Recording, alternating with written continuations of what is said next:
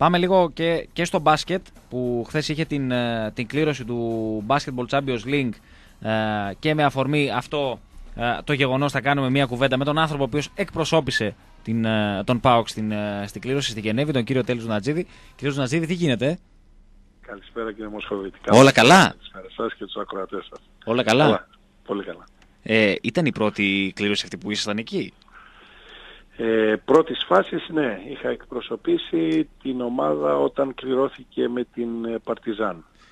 Τότε στους 16 Α, οπότε έχουμε δύο στα δύο καλά. Ναι, ναι. Έτσι μου φαίνεται. Το ελέγχω το, το την ελέγχω τέλος. Νομίζω ότι θα πρέπει να υπάρξει κάποια μονιμοποίηση. Σιγά σιγά. Ναι. Άντε το πρώτο μπορεί να έγινε μία φορά, αλλά το δεύτερο πήγε καλά. Ναι. Έτσι μου φαίνεται εμένα τουλάχιστον. Δεν ξέρω ποια είναι η δική σας άποψη για, την, για την κλήρωση. Νομίζω ότι είναι λίγο ε, υπάρχουν κάποιες ομάδες που ξέρουμε σίγουρα ότι είναι πρώτο επίπεδο και ότι θα είναι καλές. Ε, στον όμιλό μας σίγουρα τέτοιο επίπεδο είναι η Τενερίφη και η Βενέτσια. Αλλά υπάρχουν και κάποιες ομάδες που δεν ξέρουμε ακόμα πώς θα παρουσιαστούν. Είναι ερωτηματικό το τι ρόστερ θα έχουν. Είναι ομάδες που έρχονται από που μπορεί να μην είναι γνωστές στο ευρύ κοινό αλλά να κάνουν μια επένδυση ε, τέτοια που να δημιουργήσει μια ομάδα καλή και να είναι άκρος ανταγωνιστική ε, στον Όμιλο. Οπότε ε, νομίζω ότι ε, γνωρίζουμε ότι το επίπεδο είναι υψηλό. Γνωρίζουμε ότι είναι ένας Όμιλος τον οποίο είναι μέσα στις δυνατότητές μας σίγουρα να προχωρήσουμε και να προκριθούμε.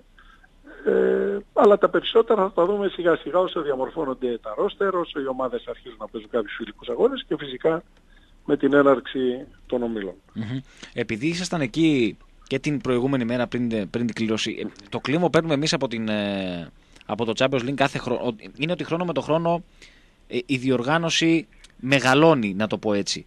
Ε, και νομίζω ότι έχοντας πλέον και μια εικόνα από τις δύο προηγούμενες σεζόν, ε, Μπαίνοντας τώρα στην, ε, στην Τρίτη, έχουμε μια εικόνα της διοργάνωσης η οποία μόνο καλύτερα νομίζω ότι μπορεί να πάει από εδώ και πέρα. Και η εικόνα που έχουμε είναι ότι ομάδες που. Ε, μάλλον δεν υπάρχουν φαβοροί, να το πω έτσι. Ναι. Ε, ε είναι ομάδες που είναι κοντά.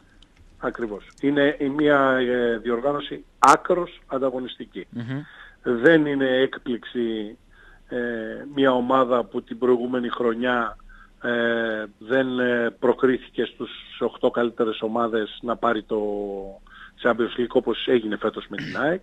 Ε, δεν είναι έκπληξη ομάδες που ε, θεωρούνται μεγάλα φαβορή να μένουν ε, εκτός και να προχωράνε άλλες όπως έγινε φέτος με την ε, παραδείγματος χάρη η Μπεσίκτας που είχε ένα φοβερό ρόστερ και μια πολύ δυνατή ομάδα που απεκλείστηκε από την όχι τόσο γνωστή Bayreuth τη γερμανικη Ε, αυτά τα πράγματα δείχνουν ότι είναι ένα πολύ ανταγωνιστικό. Αυτό που είναι πολύ θετικό είναι ότι ε, το BCL μέσα σε δύο χρόνια κατάφερε να δημιουργήσει ε, πραγματικά έναν οργανισμό που ανταποκρίνεται σε υψηλά στάνταρ αγωνιστικά αλλά και οργανωτικά.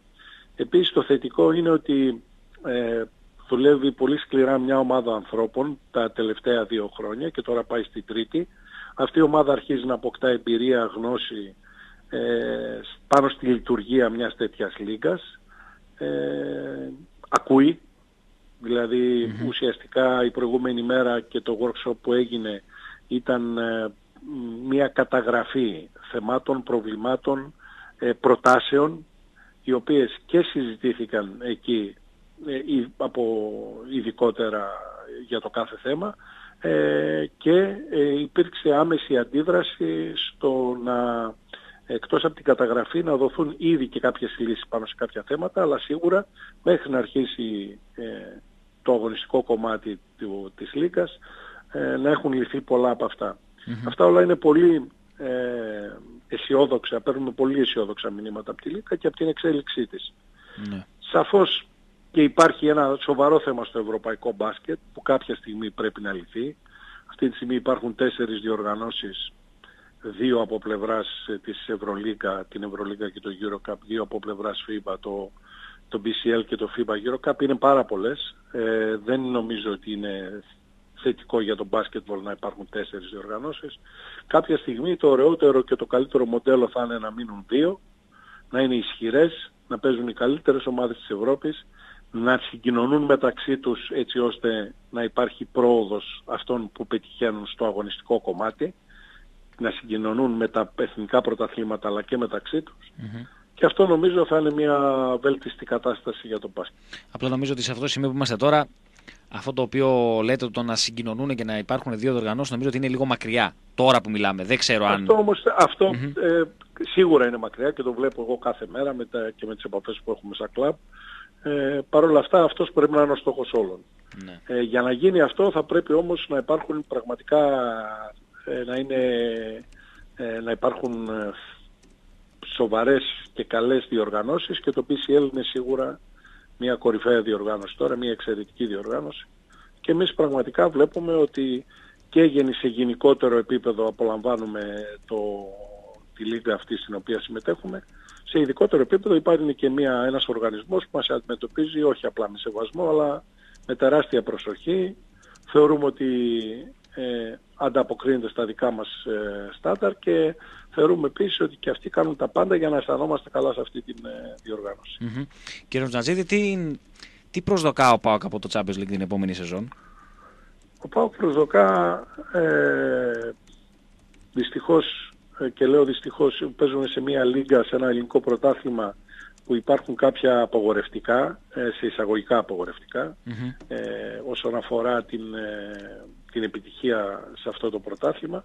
Οπότε ο ΠΑΟΚ μέσα από το BCL αναζητά μια επιτυχία και μια αγωνιστική επιτυχία όσο πιο ψηλά βρεθεί και όσο καλύτερα πάει ε, νομίζω ότι περισσότερες πιθανότητες έχει μια ομάδα σαν τον ΠΑΟΚ αυτή τη στιγμή να δημιουργήσει μια επιτυχία στο ευρωπαϊκό χώρο παρά στον ελληνικό. αυτό λοιπόν επίσης Μεγάλη αλήθεια είναι αυτό. ναι, ναι.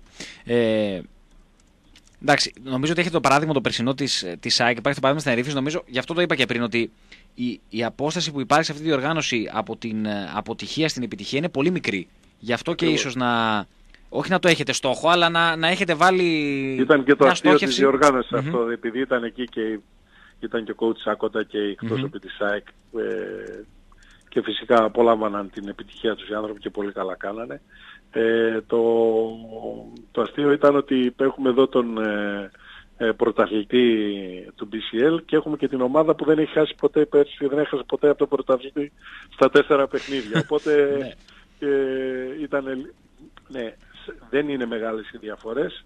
Ε, ειδικά ο ΠΑΟΚ της περσινής σεζόν και ειδικά ο τρόπος που τελείωσε είναι μια ομάδα που μπορεί να διεκδικήσει το υψηλότερο σε αυτή, την, ε, ε σε αυτή τη λίγα, σε, αυτό το πρωτάθλημα, να φτάσει δηλαδή στις τέσσερις καλύτερες ομάδες.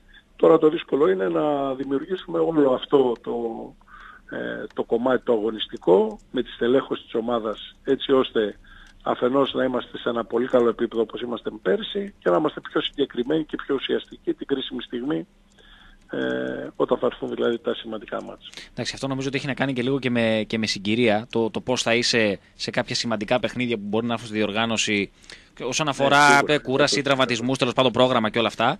Αλλά το να το έχεις σαν μια στόχευση ε, είτε στο πίσω μέρος του μυαλό είτε στο μπροστά όταν ε, νομίζω ότι για τον Πάοκ είναι κάτι που το έχει, έτσι δεν είναι; Βεβαίως, βεβαίως, βεβαίως. Είναι προτεραιότητά μας, είναι ε, πολύ συνειδητή απόφαση να συμμετέχουμε σε αυτή τη λίγα, στο BCL ε, και γίνεται με, με μόνο γνώμονα και μόνο παράγοντα ε, την ε, προσπάθεια που κάνουμε για να βρεθούμε σε ένα υψηλό αγωνιστικό επίπεδο και να καταφέρουμε να έχουμε μια επιτυχία στον ευρωπαϊκό χώρο.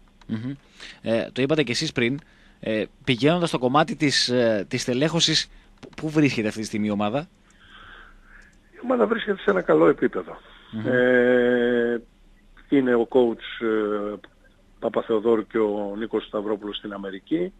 Ε, κάνουν μια πολύ σοβαρή ε, δουλειά και μια προσέγγιση και σε εκπροσώπους παικτών αλλά και ήδη τους ίδιους παίκτες.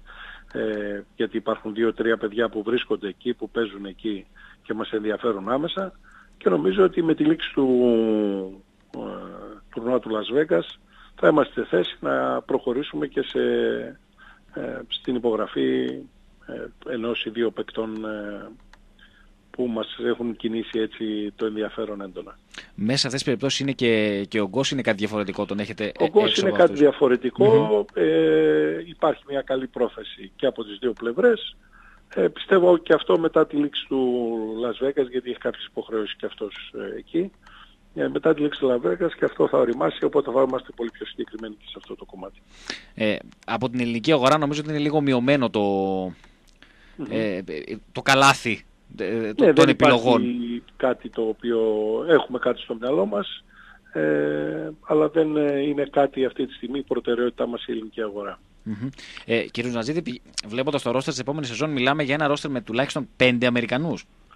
Σίγουρα θα είναι πέντε Αμερικανοί. Ναι. Και, πιθα... και πιθανόν και έξι, έτσι. Ε, και ανάλογα με, τα, με τις ε, καταστάσεις πιθανότητα να είναι και έξι. Θα δούμε. Mm-hmm. Ε, αυτό που μας ενδιαφέρει είναι ένα-δυο πράγματα που έχουμε πολύ συγκεκριμένα που είναι επιθυμίες του προπονητή να γίνουν. Και από εκεί και μετά υπάρχει ο κορμός των Ελλήνων παικτών ε, από εκεί και μετά θα δούμε τι ακριβώς, ε, ποια θα είναι ακριβώς η συνέχεια. Και μιλώντας για ελληνική αγορά, προφανώς και δεν μιλάμε μόνο για Έλληνες παίχτες. Ε, καταλαβαίνω ότι είτε ε, ελληνική αγορά όταν μιλάμε, μιλάμε για Αμερικανούς που μπορεί να πέρασαν και να φύγαν, μπορεί να ήταν και πέρσι. Κοιτάξτε, αυτό είναι μια πηγή ε, παικτών η οποία δεν μας έχει προδώσει ποτέ. Ναι. Αν δηλαδή κάποιος με μεράκι έτσι και επειδή εσείς είστε ένας από αυτούς καθίσει να δει ποιοι Έλληνες, ε, ποιοι παίκτες οι οποίοι έπαιξαν σε ελληνικές ομάδες ε, και μετά μεταγράφησαν ε, στη δικιά μας ομάδα, μετά υπέγραψαν στο ΠΑΟΚ, ε, υπάρχουν τα τελευταία 6-7 χρόνια, θα δει ότι οι περισσότερες από αυτές είναι ε, πολύ επιτυχημένες συνεργασίες. Άρα λοιπόν είναι μια καλή δεξαμενή και αυτή. Ναι, ναι. Αλλά τώρα που μιλάμε δεν μπορούμε να πούμε ότι υπάρχει από αυτή τη δεξαμενή ε, μία επιλογή που είναι προχωρημένη, να το πω έτσι. Όχι, όχι, όχι. όχι. Ναι. Μάλιστα. Ωραία, κύριε Νοτζατζίδη, καλή συνέχεια. Ευχαριστούμε για την, για την κουβέντα και που πάρα είστε πολύ για το ενδιαφέρον σας. πάντα διαθέσιμος. Να είστε καλά. Να είστε καλά και εσείς. Καλό μεσημέρι. Λοιπόν, αυτά από τον uh, team manager του ΠΑΟΚ.